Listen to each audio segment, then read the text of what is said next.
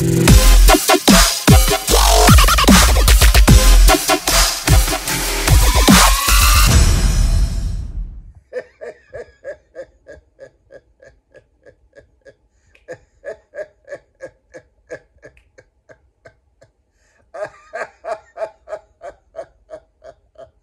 Dios mío, pero verdad que uno se tiene que reír. Señores, eh, eh, eh, esta gente del gobierno, este es el gobierno de la incoherencia total.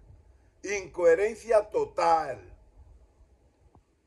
La presidencia acaba de, de, tirar un decreto donde se va a hacer un aeropuerto, eh, una base aérea en Barahona. Pero señores, Barahona es uno de los primeros pueblos que tiene aeropuerto y el aeropuerto de Barahona no se le está dando ningún tipo de uso.